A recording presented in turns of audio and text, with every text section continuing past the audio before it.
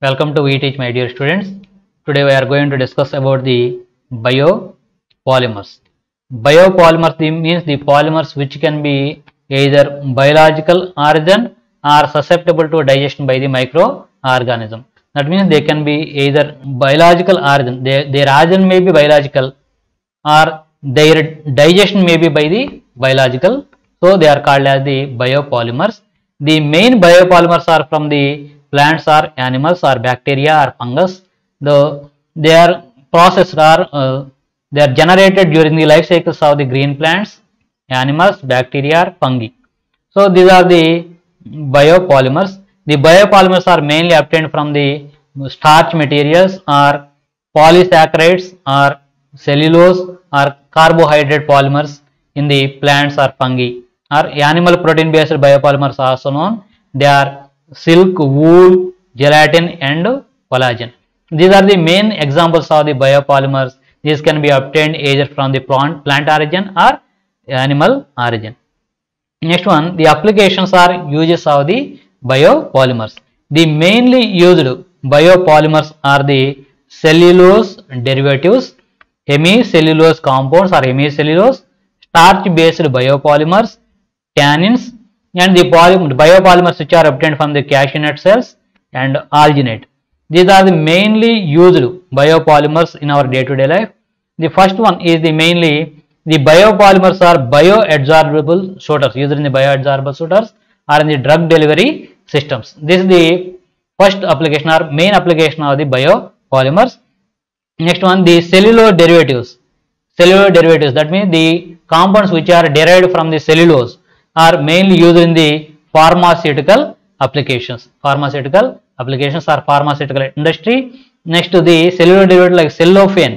Cellophane is used in the packaging industry and viscose or rayon are used as the fibers are in the textile industry. These are the applications of the cellulose, cellophane and viscose and rayon compounds. Next one the hemicellulose. Hemicellulose mainly used in the industrial applications like uh, adhesives or in the manufacturing of the medical gels or either it may be also used in the polymer reinforcement process. Next one, the starch-based biopolymers. Starch-based biopolymers can be used in the manufacturing of the adhesives or injection molding materials are used in the packaging industry or film, foam or tires industry or either also involved in the painting or horticultural industry. Next one, tannin. Tannin is used in the adhesives, manufacturing of the adhesives or formulations and binders. Cashew nut shells. Cashew nut shells mainly used in the manufacturing of the natural fibers.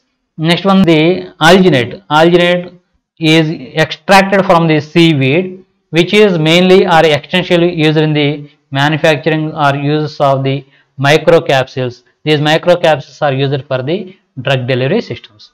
So these are mainly used in the drug delivery systems or either industrial applications. These are all about the biopolymers. Now we can discuss about the biomedical polymers. Biomedical polymers means the polymers which can be used in the medical field and obtained from the biological origin are called as the biomedical polymers. That means the biomedical polymer should be a biomaterial and which can be used in the medical field or medical applications are called as biomedical polymers. These biomedical polymers mainly a polysaccharides or proteins or bacterial polyesters. Next one, what are the properties of the biomedical polymers?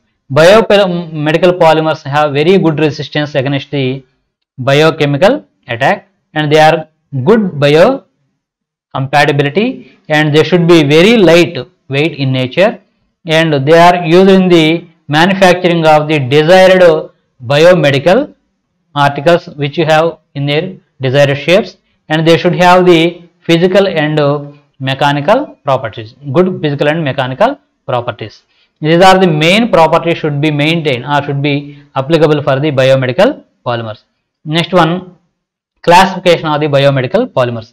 According to the origin they are mainly classified into two types. They are natural biomedical polymers and synthetic biomedical polymers. That means they are either natural polymers or synthetic polymers. Natural polymers means they are obtained from the um, either plants or animals. That means they are called as bio natural biomedical polymers. These either natural biomedical polymers or artificial or synthetic biomedical polymers they should be non-toxic in nature and biodegradable in nature.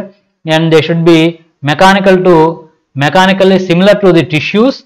And they are very easy and cheap to manufacture and they should be they are examples of the biomedical natural biomedical polymers are the collagen cellulose alginate dextran and chitosan these are the natural biomedical polymers. The next one is the synthetic biomedical polymers.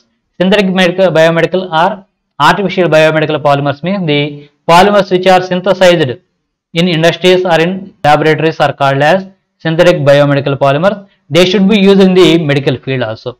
The examples for the synthetic biomedical polymers are either polyurethanes or epoxy resins or vinyl resins silicone rubbers cellophanes and polymethyl methacrylate it is also called as PMMA and polyglycolic acid. This is also indicated as PGA and polytetrafluoroethylene PTFE these are the main synthetic biomedical polymers.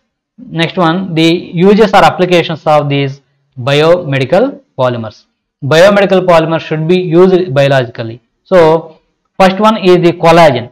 Collagen is a biomedical polymer which is involved in the drug delivery devices and also used in the making of the prosthetic implants in our body.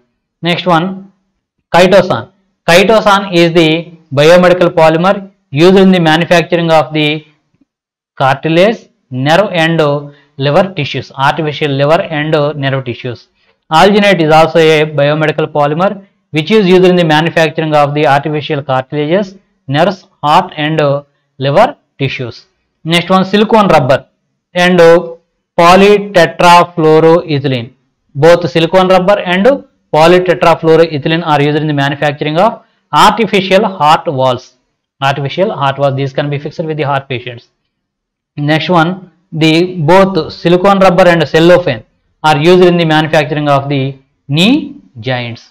Next one, PMMA, polymethyl methacrylate. Polymethyl methacrylate is a biomedical polymer used in the manufacturing of the acrylic teeth and hard contact lenses. Next one is the cellophane. Cellophane is a biomedical polymer used in the manufacturing of the semi-permeable dia- dialysis membranes. These membranes are used for the kidney patients. Next one, polyglycolic acid is used in the manufacturing of the surgical sutures are used in the sutures. Okay, this is all about the biomedical polymers. We will continue in the next session. Thank you very much.